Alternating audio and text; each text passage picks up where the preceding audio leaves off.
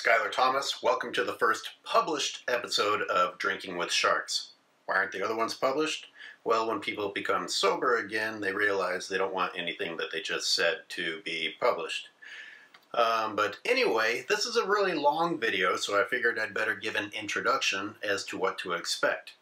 While in South Africa filming the documentary Monsters, we sat down with Walter Bernardis, who is a shark diving pioneer, and it was uh, after we'd gone diving with him and we were just going to have a braai and enjoy some drinks, and we decided to turn the cameras on, and we got some really interesting topics. Um, there's some great footage to go along with it. This was just for fun, so there's some laughs to go along with it. There's some cursing that's kind of unprofessional, but if you want to just have some fun and listen to us talk sharks, this is a good video for you to watch.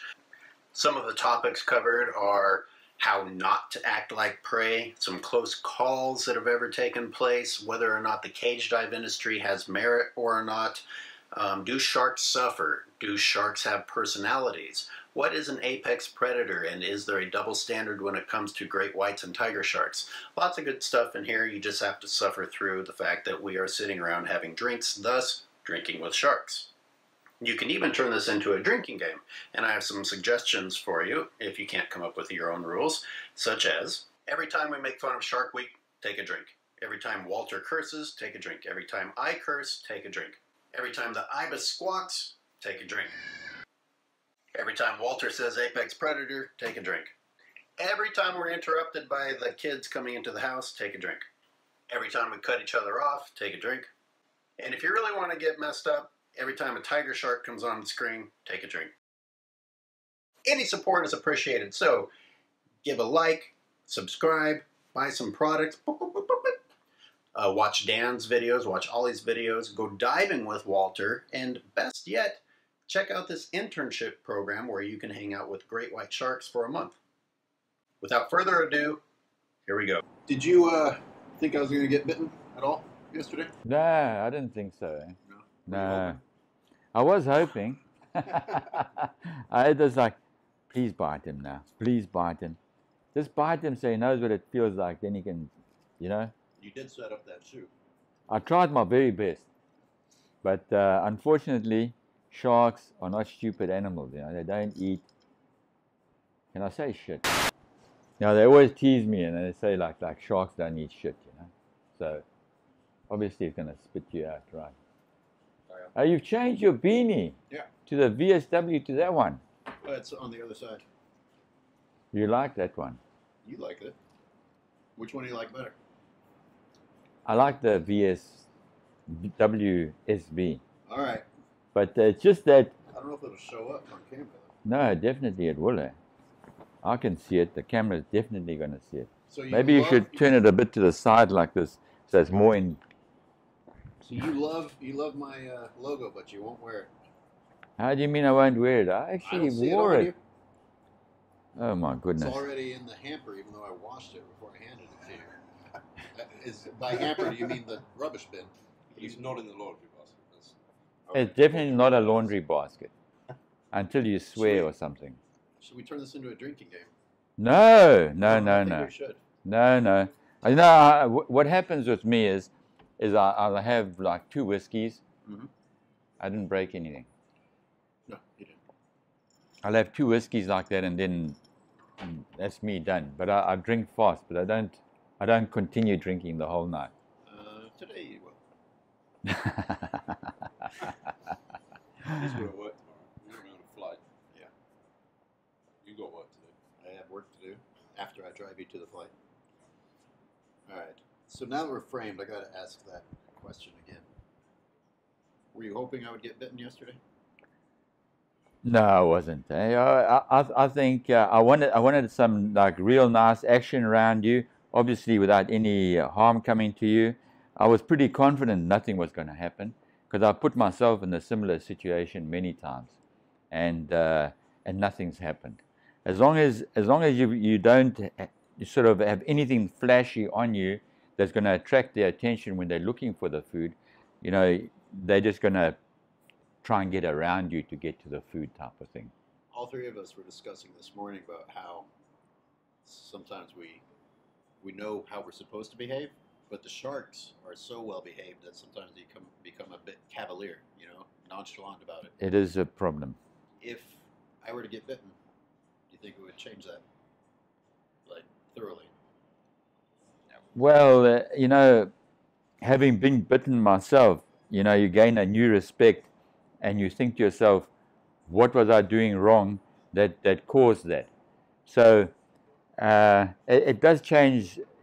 I mean, for me, it didn't change my um, attitude towards the sharks. It just changed my behavior in a certain way that I said, okay, this happened. Why did it happen? Okay, next time you're not going to do that anymore. So I, I treated it as a learning experience rather than a catastrophe. You, know? Uh, you want to play with my leaf? I can just see. You want to go the Adam and Eve well, every thing. time you move your shoulder, the plant bounces. Okay. Well, how do you feel about this, like going tropical? If it was covering your face completely, that would be worth it. then it would be like so much better.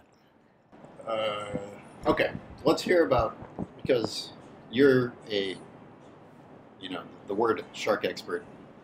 Thanks to Shark Week doesn't mean anything anymore, but I'm going to call you a shark expert anyway because I don't know what else to refer to. What, what would you call yourself? What would I call myself? I would definitely not call myself a shark expert. I, I'm experienced with diving with with uh, certain sharks, and uh, that would make me not a, a general shark expert, but a specific. If you had to ask me about black tips, if you had to ask me about raggies, if you had to ask me about tigers, I, I would be able to You like interacting with them. Is that fair to say? very much. Yeah. So can I call you a behavioralist? Be- behavioralist. I definitely look look at don't know if that's a behavior. word.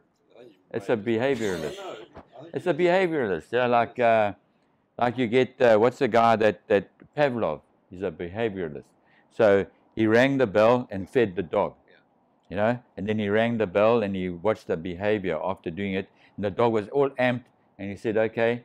So he linked the behavior of ringing the, the bell to the food. I'm not going to explain the whole funny thing to you, you. you talk about sharks as if they're dogs. You compare them to dogs sometimes. So it's good. uh, like a pet, you know, that you, you don't mind going up and, and uh, if you understand the animal, you're going up to a, even a foreign a, a dog that you, you can interact with it the same way you can act with, interact with certain sharks. Are you sending the wrong message to people when you say sharks are like dogs? In what way? I'm uh, playing devil's advocate, and the people that say they are not like dogs, and people are going to not respect them properly and then get bitten. People don't respect dogs and get bitten. More people die of, of uh, attacks from dogs. Multiple more. You know, I don't know what the exact figure is. It's it's uh, in a, s- like a huge number of people die because of dog attacks. I mean, and uh, how many people die of shark attacks? In my opinion, And you're cautious of dogs you don't know. Yeah. So you should be. you're cautious in your approach to these. They are wild animals, so in your approach to any wild animal, you've got to have a protocol that you're going to be able to um, uh, uh, adhere to to have the best interaction with it. How you get that protocol is going to the school of hard knocks, you know. So it's trying this, it's it's it's touching, feeling, and trying to understand, and then interacting. Sometimes it goes well, sometimes it goes badly. So, I mean, when it goes badly, you can't blame the animal. You just, uh, what did you do wrong? You, again, you take it, take it as a learning experience and say to yourself, okay, how can I learn from the situation? For example, you tell fellow divers, don't act like prey. Yes, You acted like prey, and you paid for it. correct. Tell us about that. Uh, inadvertently, uh, while interacting with a tiger shark and uh, over the, the, the, the era that we were, we were doing Sharkman with Michael Rutzen, we were trying to interact and we were pushing the envelope with these, with these animals, trying to get them into tonic, trying to understand, you know, what will put them into tonic, what won't. Um, I, uh, I had gone for a dorsal ride on, on this big tiger and uh, let it go. and it continued on its way and I turned around and swam back to the bucket. What I didn't realize that when I turned around and swam back to the bucket, and I usually include this in my briefing as well, is uh, that shark turned around immediately as well. I didn't see it turn around, and I happily swam back to the bucket. When that shark swam up behind me, and uh, and it was like wanting to interact some more, maybe saying like, "What's going on? Let's uh, let's see what's ha- get this party on," type of thing, Yeah. and uh, and and I was swimming away from it, acting like food, and thought, "Well, there's a smell of food. There's a thing that's acting like food. Maybe it is food," and then went and and bit onto my fin. Luckily. It bit sideways on, on my fin and gave it a bit of resistance on the first bite, and on the second bite, I managed to get my foot out of its mouth before it clamped down, or I wouldn't have a foot.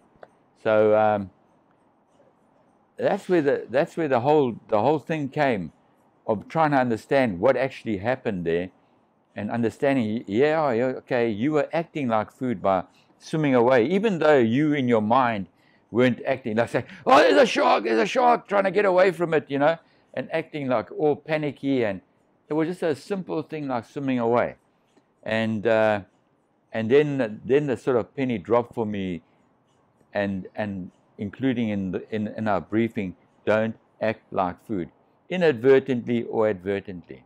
So when you're swimming anyway, from A to B, you're just swimming back in the current to get closer to the buoy. You always look back.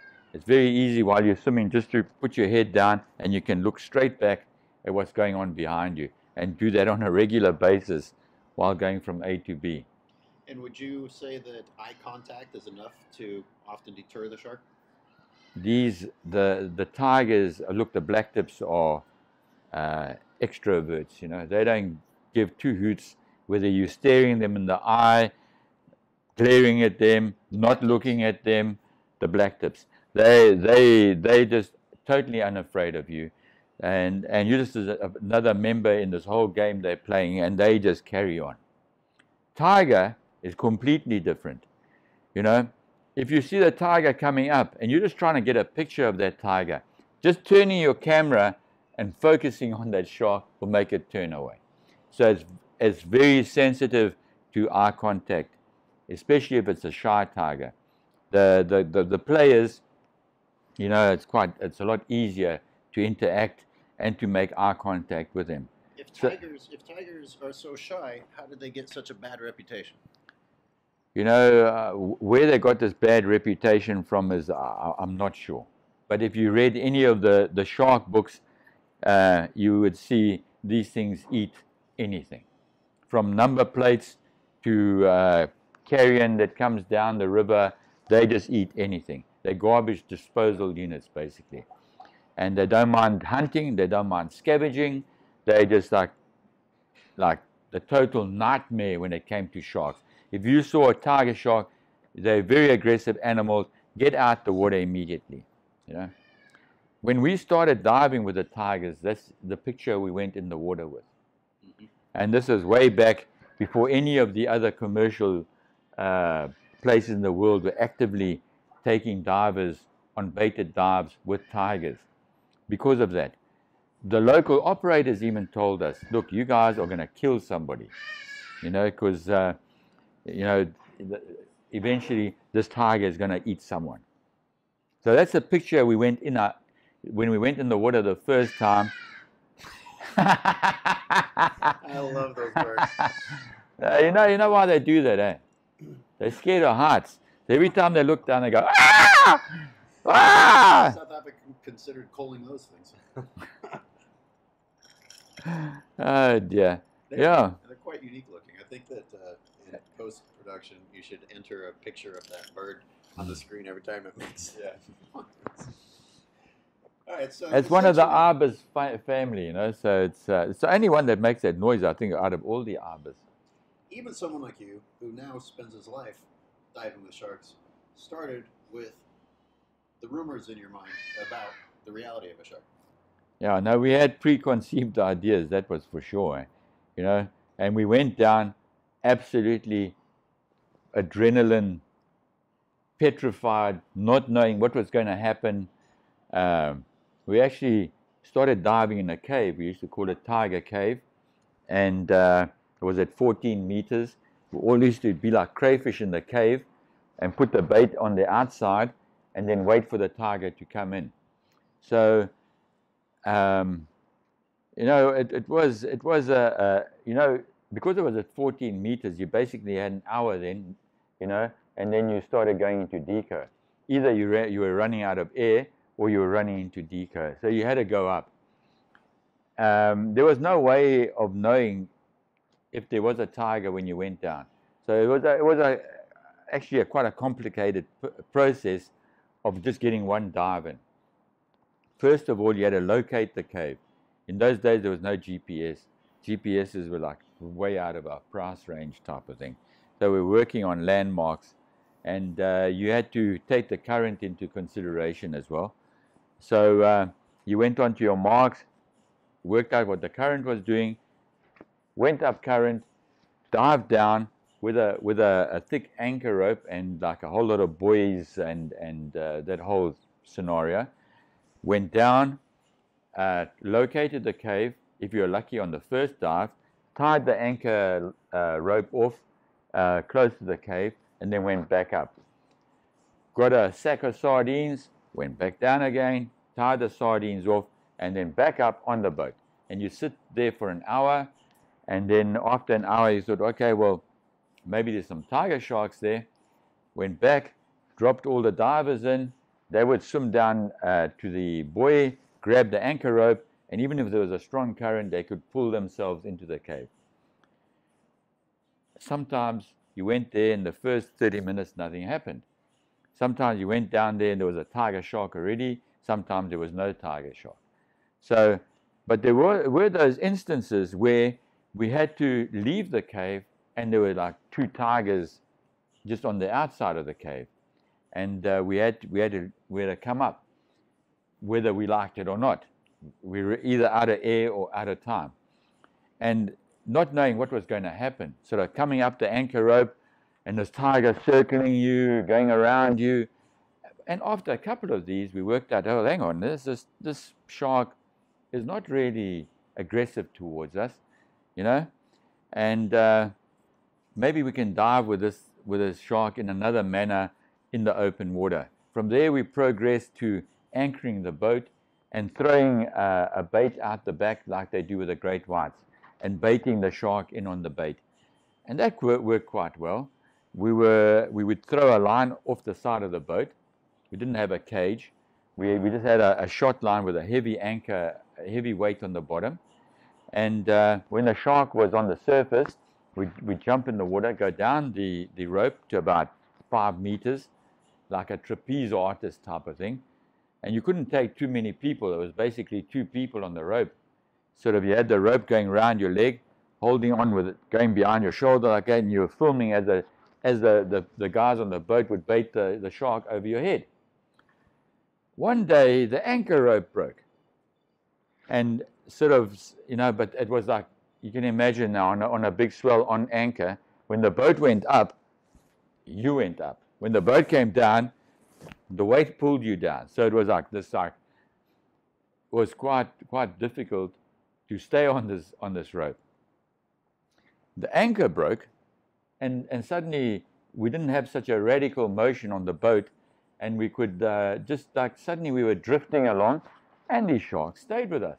They carried on interacting with us, and from there we developed the idea of having a stem where there's a buoy, uh, a bait bucket, and uh, we you know instead of the the boat being the the the buoy, we could have a, a, a buoy on the surface that's less um, uh, has less impact with, with wind and that because the bigger your buoy is on the surface, the more either the wind is going to push it with the current or against the current. Are you going to wrap this up, Walter? Because you're boring the show. Well, I told you, I warned you that, that this whole fucking history of the sharks was a wrong, boring story. And I and I've got a, such a boring voice as well. Why? And I, I haven't finished. I'm only I'm only just a third of the way. I was wondering why, when you started out, why did you not get loads of black tips at the same time? But there weren't any black tips.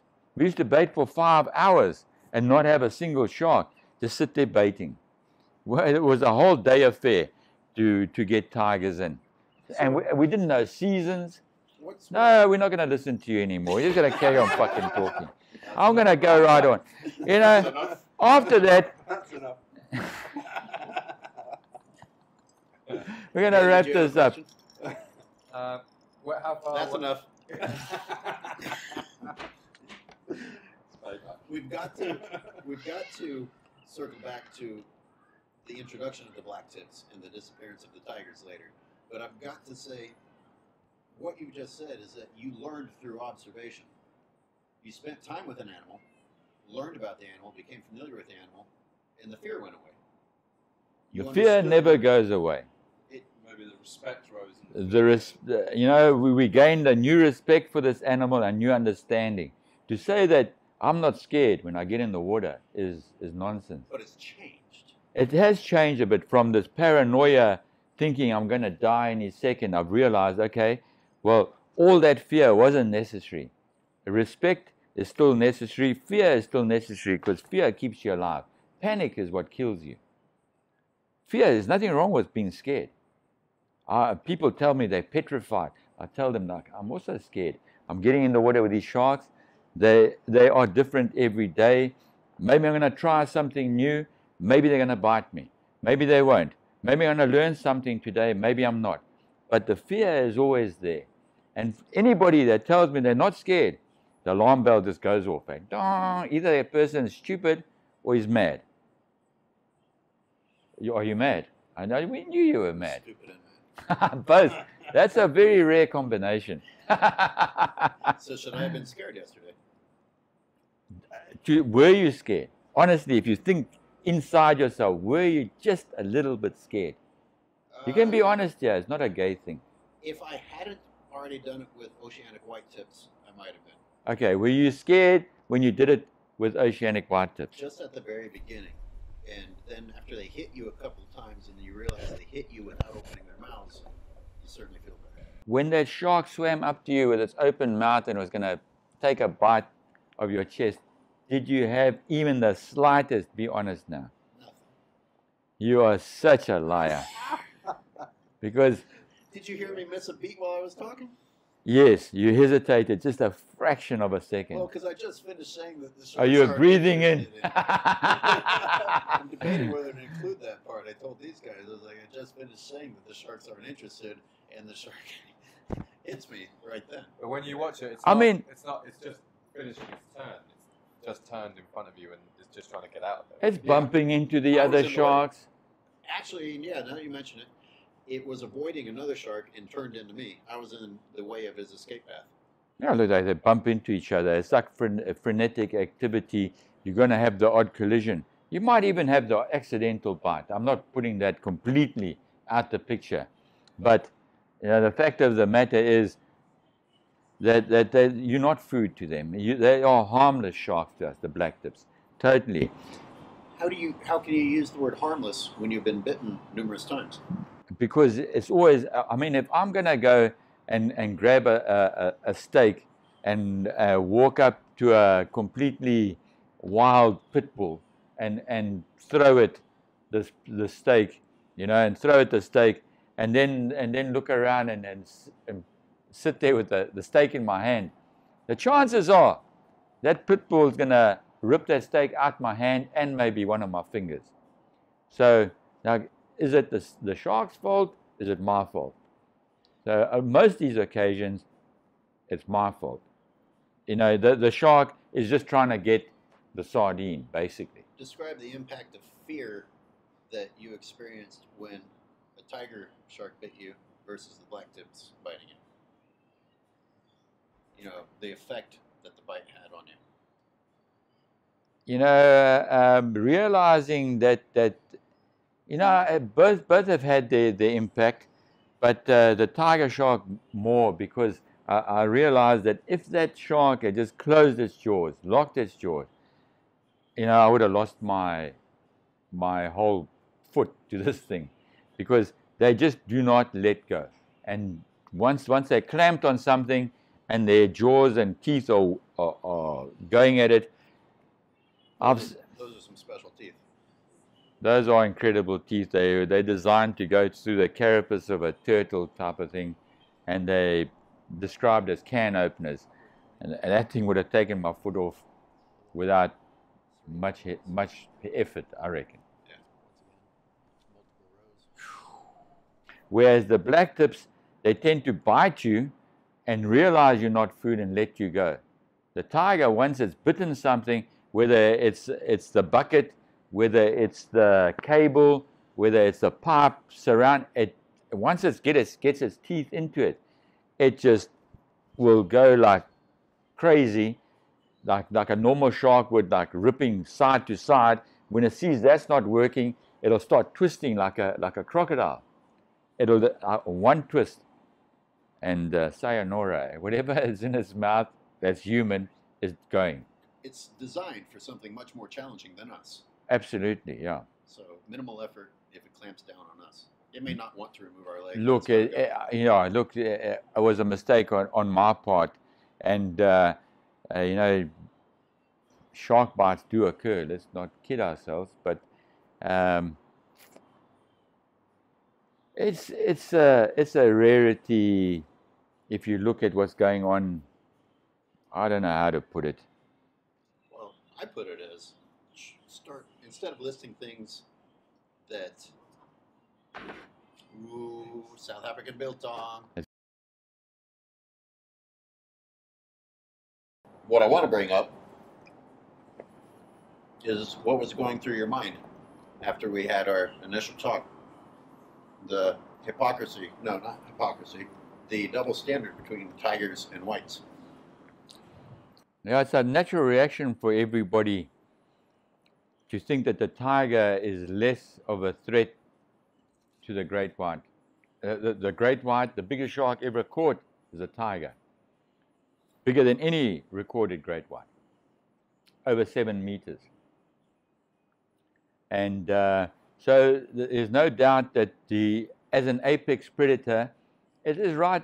I wouldn't say it's the great white, then the tiger, or maybe the way you look at it, the great white, then the tiger and the Zambezi, and then all the others.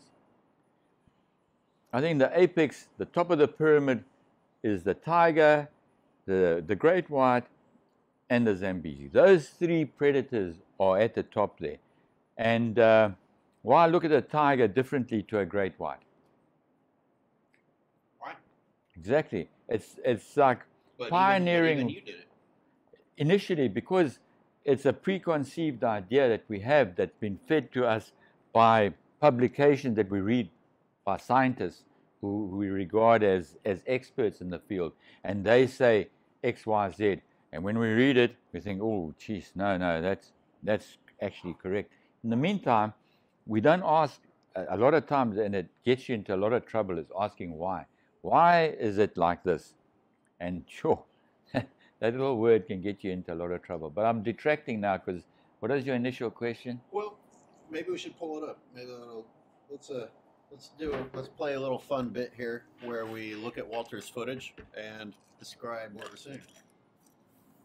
Unfortunately, I need that hard drive. For our viewers at home, we'll switch the view so you can see it as well.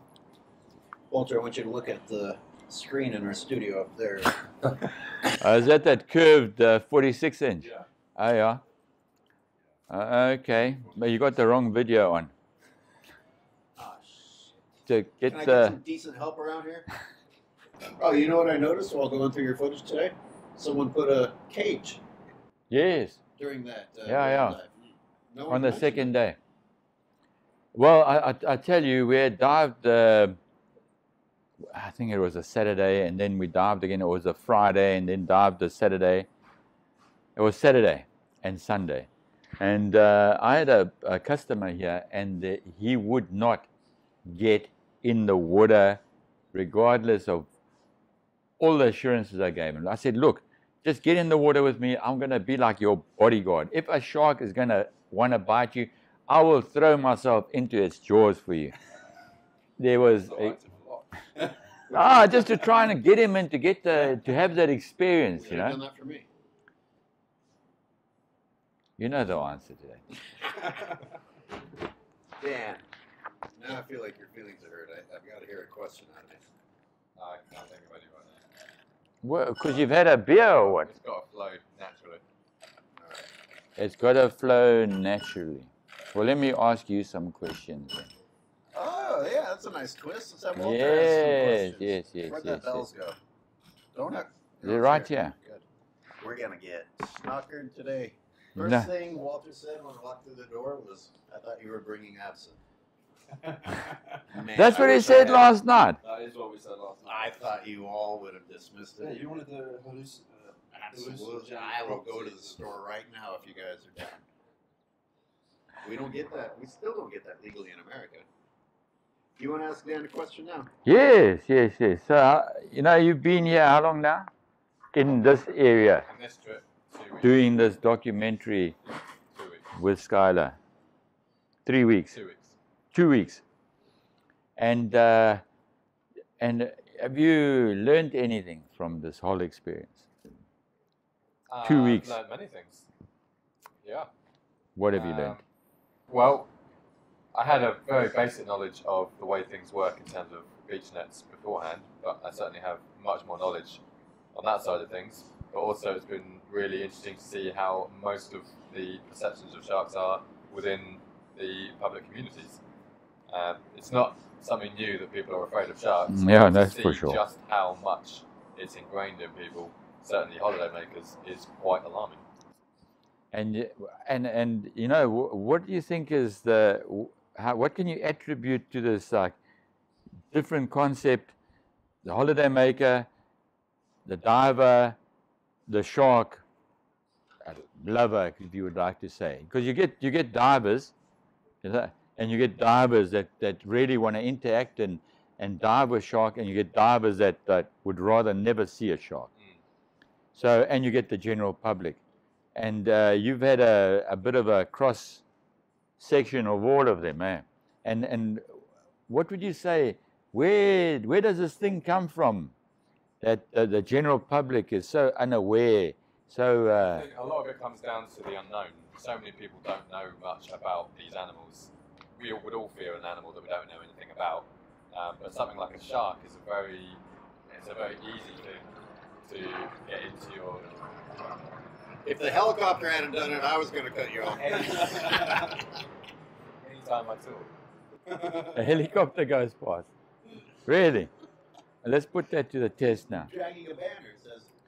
Dan, shut the fuck up.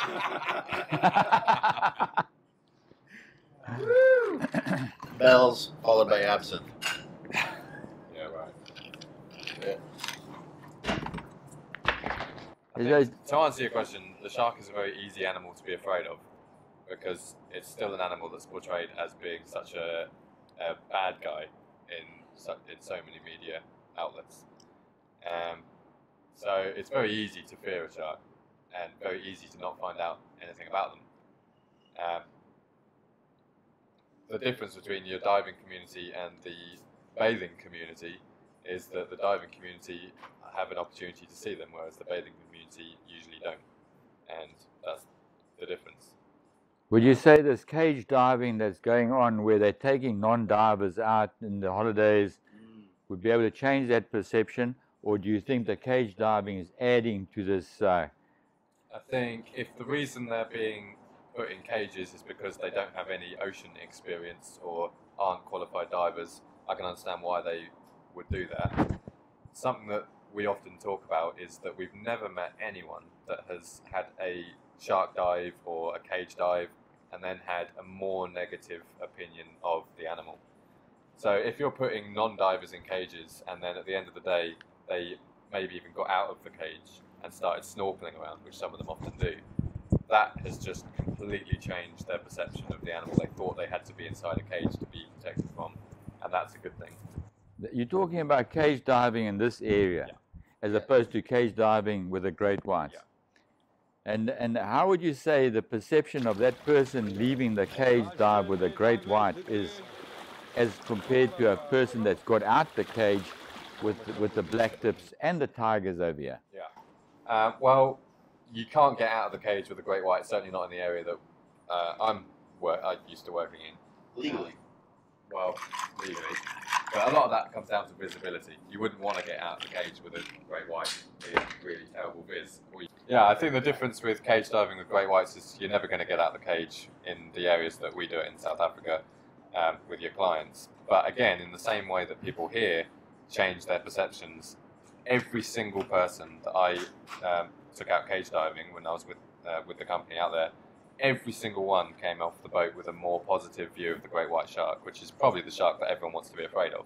A lot of people go out to try and see jaws and try and be afraid, and they go they call it an adrenaline uh, experience, whereas actually the reality is it's an, a completely graceful and um, different experience to what a lot of people are expecting to see, and that does good things for sharks.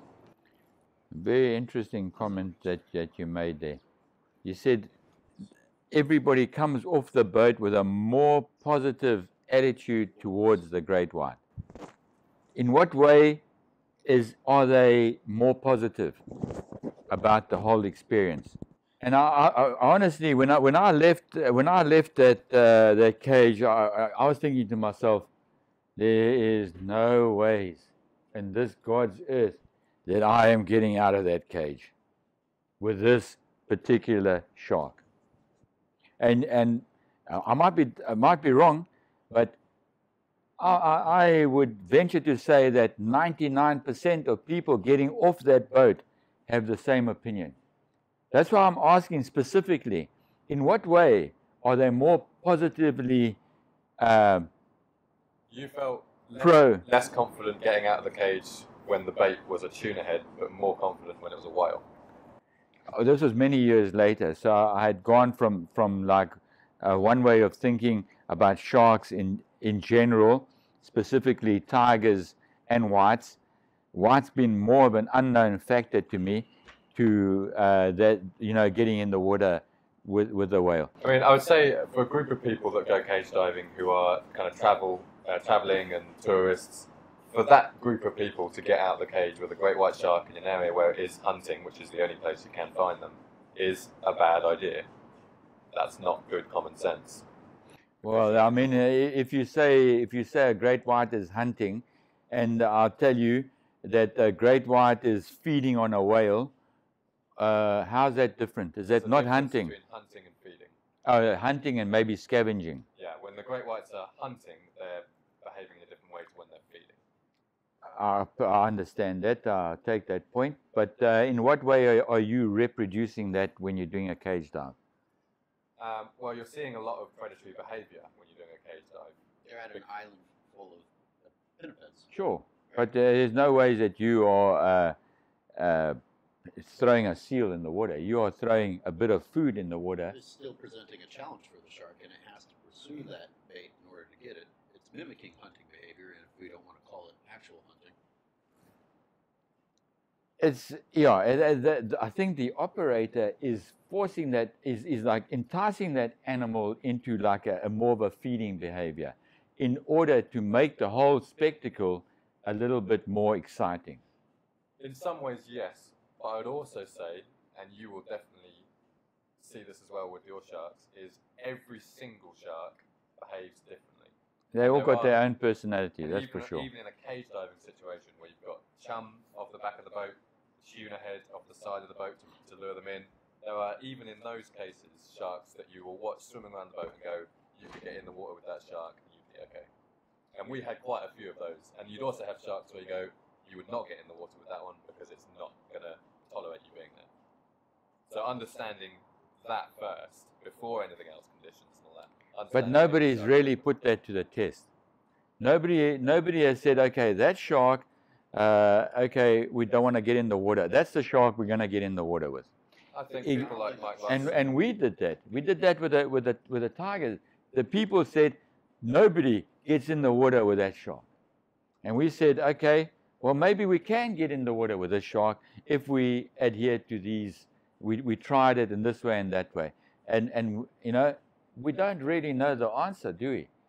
And for, to me, the what we're portraying of those animals is like in the end not the real picture. I could go and dive in, in let's, okay, let's take the visibility out the equation and put your big sharks, your small sharks, whatever, whatever size great white you want, okay, and put it in clean water so that we can interact with it on a regular basis. Guadalupe, perfect example. I could go to Guadalupe for the entire season and dive outside the cage. And uh, what would happen to me? You'd have a great experience. Exactly. Would there be one of those sharks that you would say, okay, this shark, man, we can't get in the water with? Potentially, but you'd be able to read its signals way before it showed any aggressive behavior. Would you say that me getting in the water, then uh, that that's me gone? No. Why? Because you're saying that, okay, this is not a player. We definitely don't want to get in the water with this. Um, I, I would almost guarantee you that I could go to Guadalupe for the entire season, get out the cage, do daily dives with those great whites, all the different sizes, all the different whatever you want to call them, and I would come home at the end of the that period, whatever it is, three months, four months, five months. How would you change your diving behaviour if you came across a shark that, in, in your opinion, was showing what you might call aggression? That's a very interesting question because uh, exactly that happened with uh, with one particular shark. There were two great whites uh, on the on that um, uh, carcass. One was a bigger, I think it was a female, if I remember correctly, and the smaller one was a male. The smaller one was far more interested in what was going on around the the carcass than uh, the big one, and um, when that shark showed an interest in me, the way, the way I responded to it was by showing an interest in it. So it totally, it said to itself, hang on now, this, uh, this is totally unexpected behavior. This thing is not running away. This thing is suddenly interacting with me like it's one of me type of thing. And, and I didn't know what, what the, because I haven't had that much experience with great whites.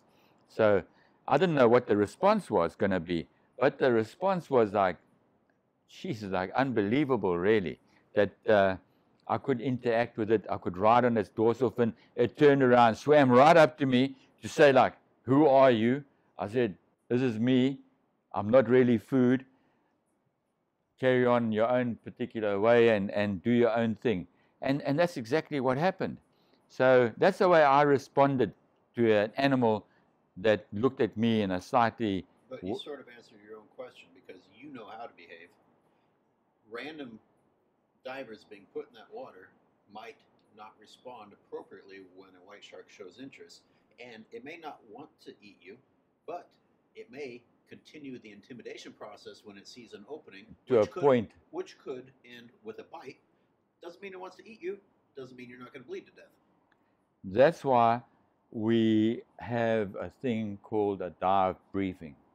Dive briefing, especially when we're diving with apex predators, is something that we've gone through the learning curve and we've said, okay. We broke every rule of your dive briefing when we were down there looking through our lenses. Well, okay, what rule did you break? Keeping our heads on a swivel. Not being globally aware. You got away with it. We You- did. You, you, you didn't. You broke the rule. The fact that you didn't, nothing happened to you, is is that it just ha- there happened to be no apex predators around. Black tips, we can't regard as an apex predator. We're not in their food chain. They don't look at us as food. So let's do the same thing with a great white or a tiger. You you may not be like six times out of ten, you might get away with it, but or even eight, nine times out of ten, but there will be that one time that you won't get away with it. So, I mean, those rules that we put in place are put in place for apex predators, number one, and put in place for your own safety, things we've learned to do and not to do. I got out of the cage in Guadalupe, and there was, and it's on camera, where a diver was signaling for me to come and adjust some of my equipment. And I turned away and was swimming back towards the submerged cage. The white shark followed me. Now, if I hadn't turned around in time and he decided to, and I, this is huge conjecture because I don't think he was going to come anywhere near me. But if he had decided to give my leg a nibble, and I that would have all been because I was distracted for a minute. And that's all it takes, you know. It, it, it's it is a big ask, and as, us as as professionals that are taking customers into the water have got to be like on on like hyper alert. I've I've got to be looking at what's going on. I've got to control the whole dive. If there's apex predators around, I've got to be like very strict about what's going on and what's not going on. The, the way we were diving around, you know, with the black tips, knowing that look, 99% nothing else is going to show up. I could let certain things happen and, and let you get away with certain things. But if it had been a, a, a shark dive where there's tigers around and uh, more than one tiger players, I would keep the whole thing a, a lot more tight, a lot more. uh, As in actual fact, I, say to my say to the guys, especially in the old days when when there were uh, quite a few sharks around, I I gave them three warnings. eh. If I walked, I, I went to you. Number one, that was your first warning. Number two, and I told you what to do. Number three, you out the water. I, I can't take the risk of you doing something stupid just because you can't, your dive skills are not there. You can't maintain buoyancy as a simple thing. You don't want to respect the rules that have been put out there for your own safety. Then you are out the water. Yeah, with an apex predator, I wonder if they should even get three warnings. Maybe not. This has gone down a very interesting conversation path, but before we forget, I don't think we've finished addressing the initial challenge of it and the effect that the cage dive industry has on people, the white sharks.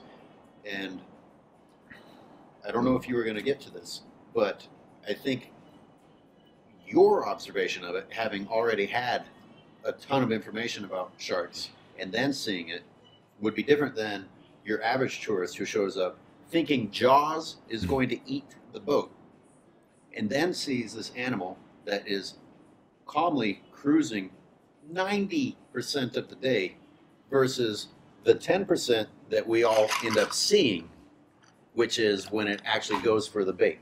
But I still remember the first time I saw it. I was like, I had no idea they were that calm, slow, calculating. You barely even see the tail move. It's like a ghost gliding by.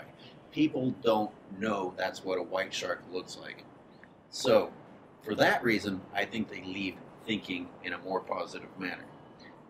If if that's what they were, if that's what they saw, but that's not what they see. I, Okay. almost all my trips, it takes almost the entire day to get seconds of action. I think the bulk of what happens is the calm gliding. But hold on, and you're going to say something, but let these guys come in. Am I? What do you guys experience?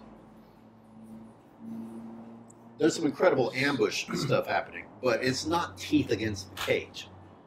For the Okay, not Shark- about, until but comes up and intentionally makes that happen. But but how many times does it actually go go for the bait? It rushes out there. It's trying to get the bait. It's a mouth open. That it doesn't always swim into the cage. Obviously, they they they uh, they're now trying to stop that type of thing where they're saying that the shark might get injured. Blah blah blah. But if I'm sitting on the boat as a first time going out and, and witnessing this whole spectacle, and that shark comes up and it goes for that bait once and it goes for that bait twice and it's rushing at this bait and its big white teeth. but it's still going for the bait. These are people who think it's going to turn and eat the boat to get to the people that are on board. Well, that's the, that's the next that's the next step visually, People isn't it? still think that. No. They really do. Well, they just they still make movies of it. Shark Week made a movie of um, what is the name of that shark? Colossus or something. Yeah. No, Colossus. No, no, no. that That, comes that back. was Megalodon Lives was just a diabolical, but this one was Colossus. Let's not even get into shark Colossus was a like this huge great white that sank this this fishing boat, ate everybody on board, and they managed to retrieve this camera, little camera like oh yours. Sorry, I didn't say little. Nice camera like yours, taking shots at your camera size. Sorry, what were you? Some- something that you do give um, clients an opportunity to see, and they do see very quickly, is just how different every shark does behave. And that's the concept that is often lost on people that have only got Shark Week or Jaws to draw on for experience. The understanding that every shark is behaving in a different way is quite a new thing to a lot of people. And we spent a lot of time before we even got on a boat talking to the people in the while they were having breakfast about the different unique individuals that they might see that we've been seeing recently. And a lot of people found that very interesting because you could say when one of them turns out, oh look, there's Nubs, he's going to be very relaxed, and they would then watch him for 20 minutes being very relaxed. Ah, here comes uh, Blackgill or Satellite or Trix, or whoever it was, and they're going to be much more aggressive, and you're going to see how they turn to hunt. And then when they get off the boat, they're now thinking, well, every shark is behaving in a totally different way, just like dogs do. Again, We were saying before about you know quite often seeing the, you know, the shark coming out out the bay. That was often just certain sharks that would that would. There are, there are sharks who I saw many, many times in, in Mossel Bay who I never saw breaching. They never made any lunge, they never made any explosive movements towards bait or boat or anything, cage. And then there were some that I never saw cruising. Almost every single time I saw them, it was going for a breach, going for it. And and what is the relation uh, in size compared to the calm one and, and the more feisty one? Yeah. Oft, often the younger ones are a little bit more feisty, a little bit more jumpy. They haven't quite got their hunting skills honed yet, so they're still learning quite a bit. But then also on the flip side of that, there was some. Uh, take two examples. One named Trix. She was the largest shark I ever saw there, four and a half meters, uh, which is big for Mossel Bay, and she was very calm, very slow moving. Another one, Blackgill, just over four meters, was very, very quick. I never saw her cruising. So I think a lot of it does come down to personality. Because every time Dan's talking, no, I'm sorry. Bird. I'm, bird on the plane. I'm done.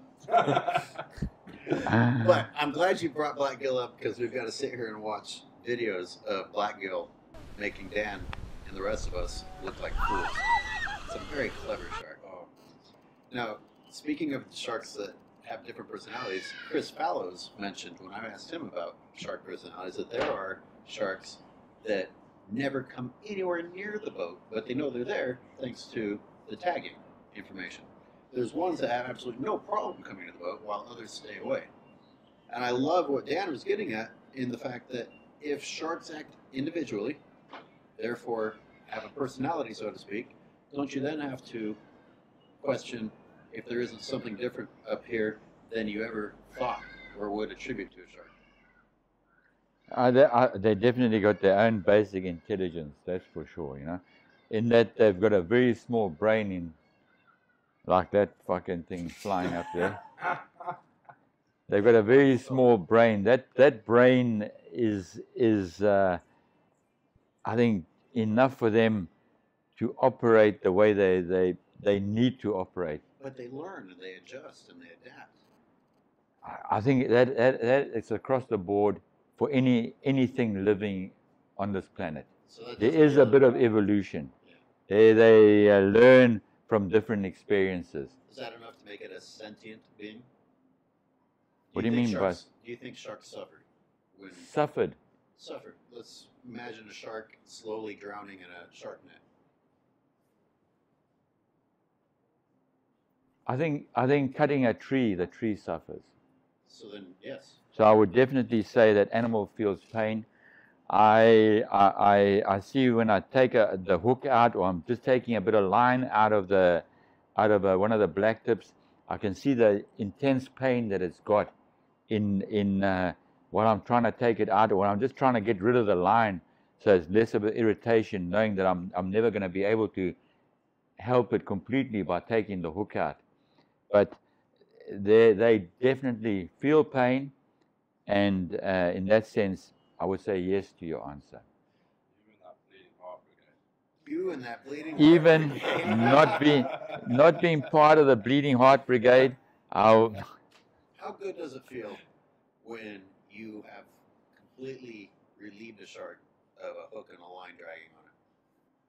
Well, you can imagine uh, like alleviate, alleviating suffering for any animal, be it a dog with a porcupine quill in its nose that's really suffering, being a, a shark with a big hook in its mouth, being able just to, to take that hook out and relieve it of that suffering, you know, is, I think, a good feeling for you and, and it's helping the shark as well.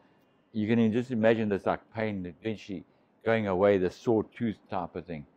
And um it's really rewarding, but unfortunately, unfortunately, it, it's very difficult to do because they are always so sensitive, so much in so much pain, while while having this this thing in their gums and and jaws, that it, it's really difficult to accomplish. Have you ever seen them show appreciation for that? I no no not really. Caught in a net or something, and- or a whale, and it comes to people, and then they. Not not in my experience. I've, I've never I've never had the the whale experience freeing it from nets. I've never had uh, turtles, um, that kind of thing. I've only done it with sharks, and um, I've heard about it. Maybe they, I maybe they don't make the link Um, between the fact no. that you've done that for them. Tell us about the decision making process of whether or not to remove that hook. it's it's because you're putting yourself in a dangerous situation. You're putting yourself, putting getting your hand near its mouth. You don't know how the animal is going to react. Is it going to feel that pain and suddenly snap? Is it going to what is it? You don't know what it's going to do. So you you are putting yourself really in harm's way to try and help that animal, and uh, you you don't know how it's going to go when it goes when it goes well, fantastic. When it goes wrong, well, you tried, you know. But what about letting it rust out versus ripping it out and letting the heal wound heal? It depends on the hook, really. Some hooks are steel hooks, and they will eventually rust out. The process takes ages. Um, on a steel hook, the first thing that's most probably going to go is the barb, so it it will get, let you get the hook out a little bit easier. On a stainless steel hook, it's never going to deteriorate. It's going to be there forever. So um, you can by by just looking at, at when the shark goes past, you can see what kind of hooks it's got in it. Is are they stainless? Are they steel? Is it is it going to get out or isn't it? You know, is it going to deteriorate and, and sort of rust away eventually? God knows how many years it'll take for this to happen, uh, or is it never going to happen in the case of a stainless steel hook? Would you ever take the hook out of a great white? nice. I I have never I, I I don't have the experience with a great white to know that I can uh, get it into a state where I can actively try and get the hook out. But I, I feel that I, if if I had if I had the opportunity to uh, interact with them more, to learn more about them, then I would have the the possible I, w- I would have the that chance, that understanding to say yes, okay, Wasn't that the premise of Sharkman? To put the white shark into a tonic? yes, but it, it was never achieved. Is Because-? I believe so. I believe it's possible with, with all the sharks. It's just you learning that uh, this is the method I must use with this shark, and that is the method I've got to use with that shark. Why isn't Hello, if you're gonna, we can hear you over here. So you gotta talk softer. You are shouting at each other. Even I can hear you, and I'm deaf. It was mostly him running like a monkey that was distracting. Let's play a game of Walter reacts to his own footage. Okay, All right. Sounds like a fun game. this is a fun game. I'm looking forward to it. I uh, think, I, I think yeah, I think you need some more whiskey for it. Okay, gonna have another sip of whiskey. And surprise, Ollie actually did bring some absinthe for the second half of the interview. I wish. That would have been brilliant. Okay. So. Alright. We'll show the people at home what you're looking at. Okay.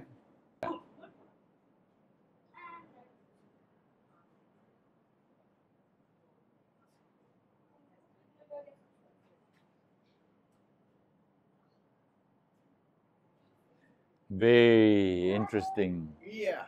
And is that not what? Cole, Cole, if you shout, we're going to hear you. So you cannot shout. If you whisper, we'll hear you. If you whisper, we'll hear. So you can't say anything. So, Very interesting. Very interesting interaction. interesting. Very interesting. Number one, I would say the, the, the whole thing was what interested that shark with that particular diver. You know, I, you know, was it the wetsuit? Uh, was it his behavior? And uh, I, I, you know, I thought it was the wetsuit. Just the color of that wetsuit intrigued that shark, and it turned up and had a good look at him. Obviously, as a shark, when it when it approaches something and it's and it's interested in it, the first thing it wants to do is mouth it because um, that's how it gets an idea of exactly what it is. Any of the apex predators. So now the key to that whole interaction was how did the diver react? Mm. And the diver, being a friend of mine who's dived quite a bit with with uh, tigers in the past, knew that to to suddenly panic and start trying to get away from the shark, number one, you're never going to get away from it. So, number two, you knew, okay, Wait, stand you your ground. Phelps can outswim a shark. Phelps cannot outswim any fucking shark. Why did that great white not turn around and have another look at them? Why didn't it? It's because of the way he reacted towards it. So if he had reacted in a way that he had a cough or a broken door that he was trying to slam, then I would say that yes, I can't tell why you two get along so well. I think we got a. got. Starting with you ask, Yeah. why did the shark come at him like that? You ask, why didn't it come back at him? All right, and go. Well, that's obvious sign that Dan is about to talk. I thought Ollie was about It's to. my turn first. Okay.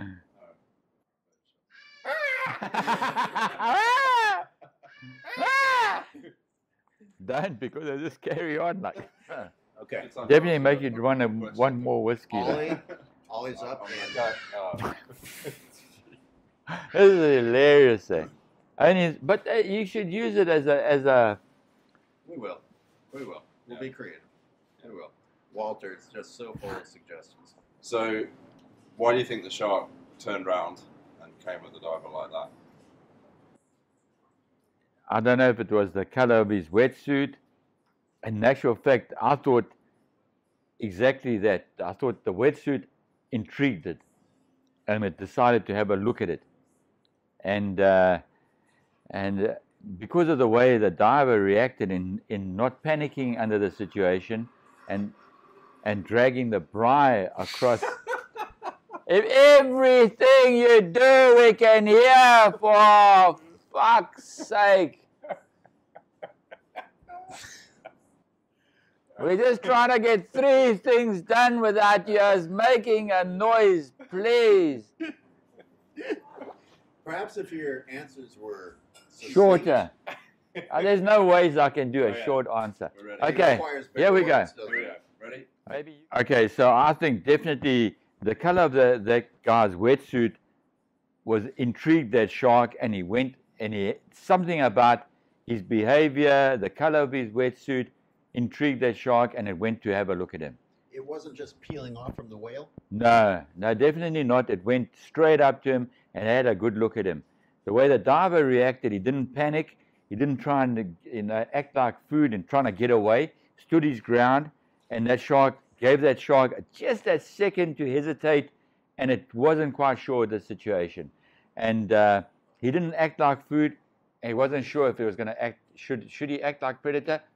Okay, in this case, uh, no, I'm not going to act like predator. And that's exactly what happened. Sharks are actually quite clever in that they, they will very seldom put themselves in a situation where they could get hurt.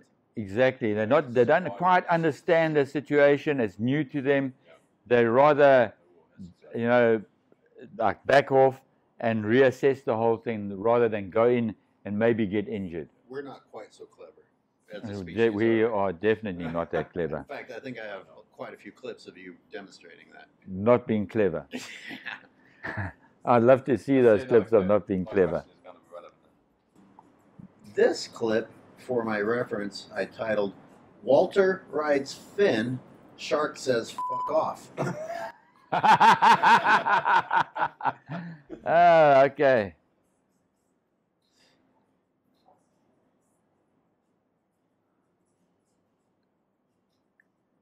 Okay, shark coming in is having a look at me.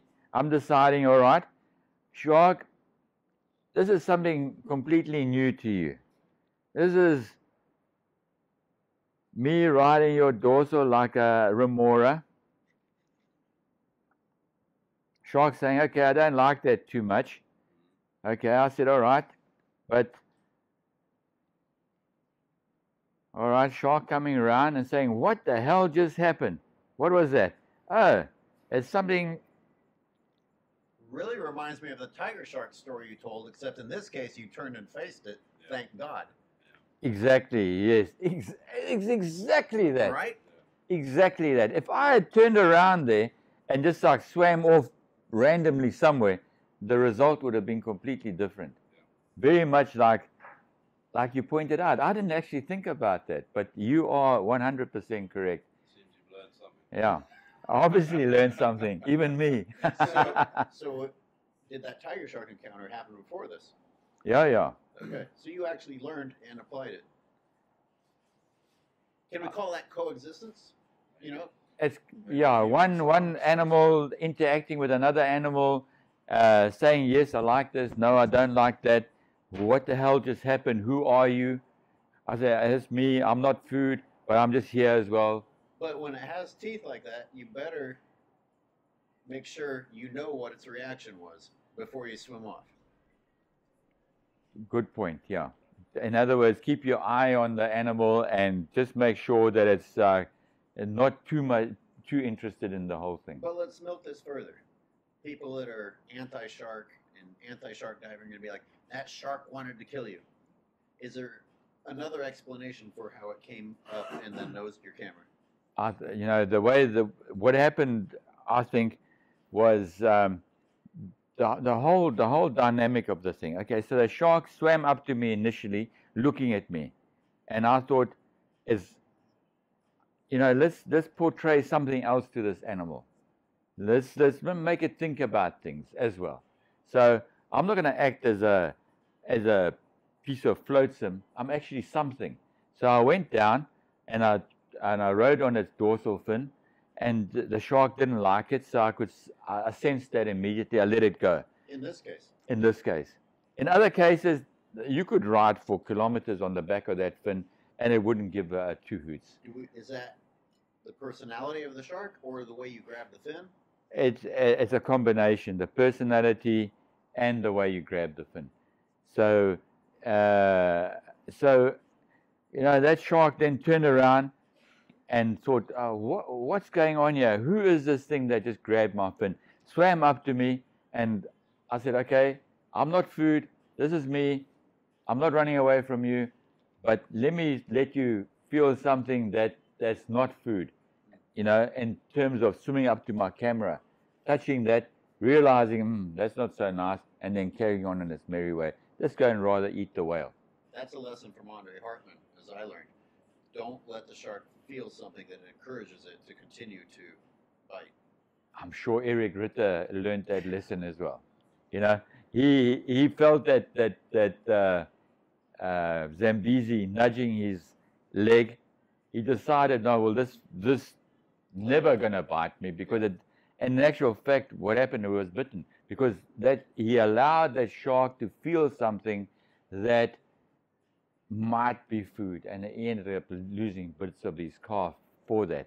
So if you're going to let the shark feel anything, let it feel something that it, it, it doesn't feel like food at all. Anti-sharkers love to use that as an example of see what happens. Do you have any defense for Erich Ritter in this case? I would say Erich Ritter fell into the same trap as I did. He, he became blasé. He became, um, you know, I wouldn't say lose respect for the animal, but he, he became too, uh, what's the word I'm looking for, man? Casual. Too casual with the whole situation. He, he allowed that thing to bump up to up against his calf and, and it didn't react. And he lost bits, a bit of his calf for that. Uh, Pretty special footage.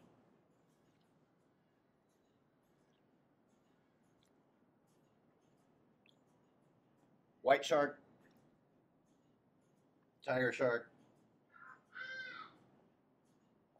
bull shark, Zambezi, yeah. all in one shot, all feeding together without biting each other, and yet the bull shark is the most aggressive. Is it? Ah, I would not say that the bull shark is. Uh, that, as I made a point earlier, I would say all three those sharks are the apex predators: Zambezi, tiger, and great white. I wouldn't say great white. Everybody wants to do that, put it on a pedestal. Uh, it's a it's an apex predator, but equally, the the Zambezi and equally the tigers are both on the same level, in my opinion. They're both the, size wise, that makes sense. We when I think of a big predatory shark, I think white tiger. Bull can get big, but I don't think of it as one of the really big ones. So why do you think it gets classification as top three? it's just an apex predator, and and uh, if you want to just uh, det- det- you know what do you use as a as a um, determining factor? What makes it the apex predator? Size. What? Great. What they prey on.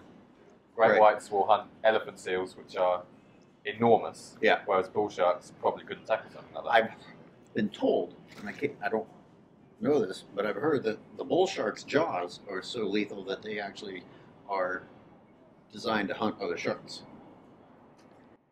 Look, if you look at the teeth on on a on a Zambezi on a bull shark, it's the same shape as a as a great white, just slightly smaller. Yeah. Uh, the biggest bull shark recorded was over four meters. The biggest great white recorded was probably in the in the six meters, Yeah. bordering on the five to six meters. The biggest tiger recorded is in the seven meters. So why isn't the tiger the apex predator when it comes to size? Why do you think that that tiger couldn't tackle an ele- elephant seal? Of course it can. That- because the reason that I'm hesitating is because I always see tigers moving so slowly. I never see the breach attacks, the launch attacks. Also, is a tiger's teeth designed well enough to be able to cut through something as tough as an elephant seal blubber? That that I mean Yeah. that tiger's tooth is designed to go through a carapace of of a loggerhead turtle. Now, anything that can go through the carapace of a loggerhead turtle is going to absolutely demolish anything else. There's nothing. On this planet. get its mouth around it, so the mouth has to be designed to get that. Well, a- seven meter tiger. Do you understand that that seven meter tiger is going to have a half a meter from this end of the jaw to that end of the jaw? The same thing as, as a, a, a six meter great white. From this end of the jaw to this end of the jaw, they're going to be pretty much the same size. Hmm. Whatever goes in there is getting taken out. It's just that the, the, the great white operates in cold water, the tiger operates in more tropical, subtropical areas, you know. So it's, it preys on different animals. To say that one is worse than the other, or, or greater than the other, or higher on the, on the apex ladder than the other is, is completely wrong, in Both my opinion. eaten by orca. So, I guess they are the same. Look, there's a, the, that dive we did with a great white. I mean, with sorry, the dive we did with a whale was it's the first time anybody has got in the water where all three apex predators are present. There's never been another incident on this planet where we've had tigers, great whites, and Zambezis, Yeah. the three apex predators present in one location, on one dive and uh, I think they're trying to. I did see black tips in there as well. There were black tips, there were duskies, there were One minute of, uh, memory. So there were lots of other types of sharks. There were loads of duskies, big duskies. There were loads of black tips as well. But the apex, all three apex predators were there. And to see them interact completely different to terrestrial animals was so interesting because they, they didn't they weren't competing. It wasn't like the way like the lions are eating and then they move off and then the hyenas come and then the jackal come and then the the vultures come. Everybody was just getting involved. They were operating quite happily. It was like something completely new. That's such a good point. Why is the pecking order system different with these terrestrial apex predators versus the ones that are under the ocean? They're just talking about mine. No, I, I've got no idea. But uh, all I can tell you is that, the, and you can see on the video, that they weren't interested in each other. There was food there, and they just all went for it. And they took turns though. They, I wouldn't say they took turns. As they felt, they went and had some. You know, they felt like they were going to go and eat, uh, have a bit. Off they went, they had a bit, and then it was no like, I'm, I'm the great white. All you guys stay away. Yeah. On the second day, us as divers had a huge impact on, on, those, uh, on those predators because uh, on the second day, suddenly everybody realized, okay, sure, we can dive with these animals. And there was a, a huge uh, a number of divers in the water, and you could see the difference. If, if you dived on the whale, you'd have a few tigers, and that's compared to the first day. If you moved off by about 20 meters, you like encountered this wall of sharks, like black tips, there were tigers, you know, and, and they weren't coming in because we were there in greater numbers. So um, they were used, they were sort of, it, it was almost as they were used to their own presence with a minimal uh, uh, diver impact on it. But at the moment that the diver number went up, they felt uncomfortable with the whole situation. So the size of the diver, in combination with the number of divers, caused some of the smaller sharks to be intimidated, No, or all sharks to be intimidated. all of the sharks to be intimidated. Some of the sharks weren't, they just continued. But Almost uh, like they were giving you the chance to go in and get yours. Off you could look at it like that. Yeah, get, let's let's these. We don't know what this is. Let them go and, and feed and get happy and uh, move off, and then we'll come back. But they were coexisting. They were allowing each other to feed. They weren't interested in conflict. They were interested in survival. Absolutely. They they were getting on like a house on fire. Can you think of a species that doesn't fit that description? Humans, lions, any of the other apex terrestrial uh, predators. You know, uh, definitely. If you look on the terrestrial side, when a, a, leopard or a lion, whatever has taken the, the, the kill down, it it dominates that kill until it's had its share or it's chased off by something else. In this case, there was there was no competition at all. Absolutely none. I mean, you you you've got sequences on that video where the tiger shark is crossing the, Yeah. the great white. Yeah. The great white could have taken a bite out of the tiger anytime it wanted. It could have nudged it to say, look, listen, I'm here, get the hell out of here.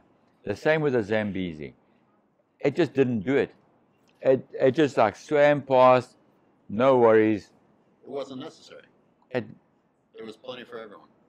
Maybe maybe that's what it was. It, uh, but uh, you know, did it know there was plenty for Would there be a different situation where it wouldn't be so accepting? Let's take an elephant, dead elephant. So Let's take a dead elephant and a whale, uh, and sorry, let's take a dead elephant and we've got the, the lions feeding on this dead elephant. Do you think those lions would allow the hyenas to come and feed on the other side? not until they were intimidated out. There was there's no chance. Do you think those hyenas would allow the jackal to come and feed, or the uh, vultures to come and feed? there'd be this consistent fighting and bickering going on, even though there was ample food for everybody. It's just a different uh, hierarchy on the terrestrial side compared to what's going on in the ocean. This has been Skyler Thomas and Walter Bernardis telling you that sharks aren't dangerous, but they will kill you. If you don't follow the rules. That's a joke ending. What's a better ending? Oh, you want a better ending? I don't know. I like that ending, but a lot of people won't take that very well. Ah, it's the truth. They They, can. they, they can kill Let's you. discuss this word dangerous. It's uh, tricky. Got minutes. Okay. I hate to say, after I give a talk about shark behavior, a lot of people like to say, oh, wow, I never knew that sharks were harmless or weren't dangerous. I'm like, well, yeah, I didn't say that. No, look, they're wild animals. So, as, as a wild animal, it's the same thing as you going into a bar with a face like mine.